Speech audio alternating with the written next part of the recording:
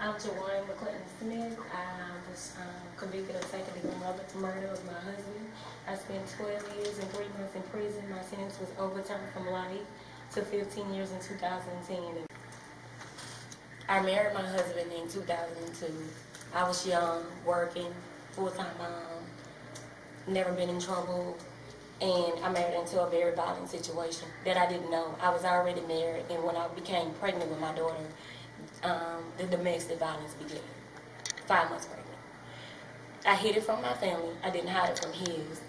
And you, you ashamed. You want to keep everything private because you feel like you're failing. You know, your, your children, your marriage is failing. You don't want nobody to know about it. But his family knew about it. Um, put me in labor with our, do- our daughter early. Um, I did report it to the hospital, but I had called the police numerous occasions to put him in jail because we was married. They never stopped him from coming home. I was too embarrassed to go back to my mom, my grandmother, my aunt. It just wasn't just embarrassment. And you think somehow it's your fault. I didn't know it wasn't my fault.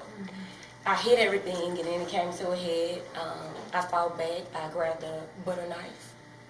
Prosecutor um, used it as a, a murder weapon. Never said it was a butter knife. Um, it never was. He was found to have um, drugs and alcohol in his system. He was like eight times over the legal limit of what he should have had. Um, none of that helped me. They convicted me, gave me life. I didn't have a jury on my peers. The jury of my peers was retired detectives, put retired police officers, retired firemen. I didn't have a jury of my peers, but because they didn't know. And the ones that did understand, they wasn't allowed to sit on my jury. Um, I sat on bond for two years. I had a court-appointed attorney. When I saw that it wasn't going anywhere, I got a paid attorney. By that time, it was too late. Um, we had a new district attorney coming in. First, uh, I had the first case of the year. He wanted a conviction. He got it. I got life. Um, I fired that attorney, came into another one, leaving my kids to my uh, mom and my grandmother, which eventually passed once I was convicted and sentenced to life. My grandmother passed. The next year, my mom passed. Uh, my aunts got my kids. Uh, it was just horrendous. However, I'm still trying to fight for my life because I'm in prison with a life sentence. I've never been in trouble. This is all new to me. Don't know where to start. Don't know where I'm going to get the money from a new attorney. Everything was just overwhelming for me. I finally um, went back to court in 2010, and my post-conviction was granted. And they overturned my life sentence. And they wanted me to go back to trial, and that way I could have got just negligent homicide or something. But by that, ten, by that time, my kids was teenagers, and I wasn't going to take them back. I was not going to be selfish. And I said, okay, okay, God, you brought me this for what you got for me? I went in there, and I pled guilty to manslaughter, which was a sentence from zero to 40. But the judge had had my case from the beginning, and he never felt like I was guilty. He sentenced me to 15 years with credit for time served.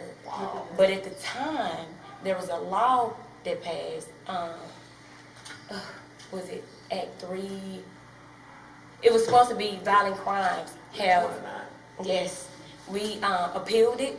We went to Second Circuit Court of Third Third Court, Court of Appeals to to try to get that invoked but they would not give it to us because when he sentenced me, he was under the impression that I would have immediate release. Mm-hmm. But that law never passed for us, even though it was the way that it was worded. It was worded that it was for violent, first-time violent crime offenders, but it wasn't. So I said another five years in prison. Hmm. I met all these other women like me hmm. that never been in trouble. Hmm. That was a part of domestic violence or that was prostituting, trying to feed their kids. And they ended up having um, sex crimes against them. Um, they couldn't go home, they had no place to go. Because with their crime, they couldn't stay 100 feet within the school zone. And their family probably sta- stayed within that school zone and they couldn't go home.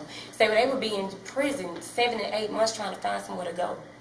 Because the prison system didn't know where to send them to, how to help them everybody was just without knowledge.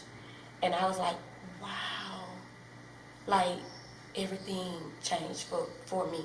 When I went in innocent, I didn't come out that way. I worked in a library, law library. I couldn't even sleep from some things I read. But I also know how that every, some things are implicated that way, to look and sound this way, and it's not what it is. Mm-hmm. And I started with my case. It looked and sound like I'm a murderer because nobody knew that it was a butter knife. Nobody knew that. Had they knew that, had this evidence came out during trial, would have got a life sentence. But it didn't. And I took a journey, and I do not regret that journey. Because I wouldn't be the woman I am today. I wouldn't know or who I know and meet the people that I meet today. So that's why I drove, drove all this way. Because I want you to know that violent crimes, people that commit those crimes sometimes look like me. Sometimes they came from where I came from. Mm-hmm. And it wasn't a horrible place that I came from. It just was a horrible experience. Mm-hmm. And sometimes people with crimes against nature. If you have sex in the park and the police catch you, that's crimes, crimes against mm-hmm. nature. Right. Mm-hmm. A lot of people never do that. But no people don't know that. And it took me to be there with my sisters and learn it.